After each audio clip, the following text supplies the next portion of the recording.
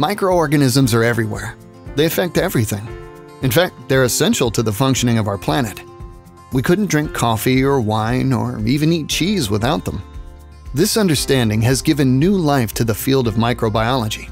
And now we can peer into the complex microbial world for answers to challenges in animal production.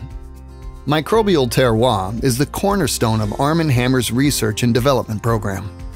The latest and most specific way to determine a farm's microbial challenges, the Microbial Terroir platform analyzes, characterizes, and develops customized microbial solutions for animal ag, food quality, and safety.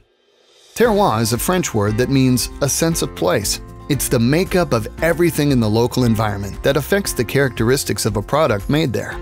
Microbial terroir is used to describe the unique microbial communities in the GI tract of an animal that are impacted by the environment, feed, ingredients, water, and the animal itself. With our on-farm microbial terroir assessments, we can identify distinct microbial pathogens in poultry operations to build resiliency and improve health and efficiency. This helps us better understand the disease threshold within the flock.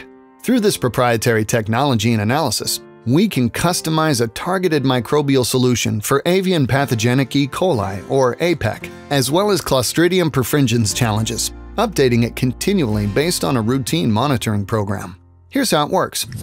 Gastrointestinal sampling is used to estimate the levels and types of APEC, Clostridia, and other pathogenic threats in the GI tract of poultry by a systematic sampling across the flock's life cycle and location.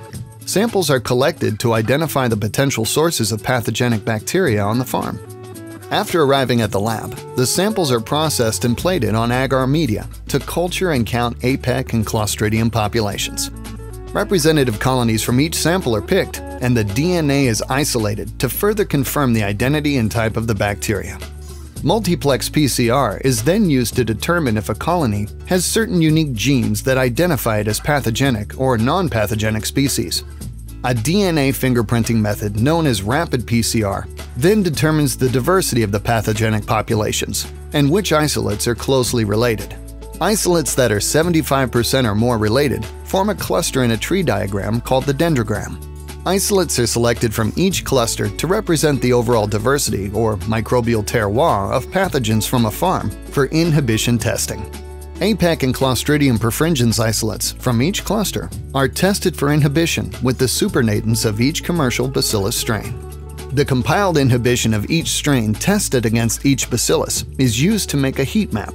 The bacillus strains with the broadest inhibition are selected and used to create a customized Certillus formula.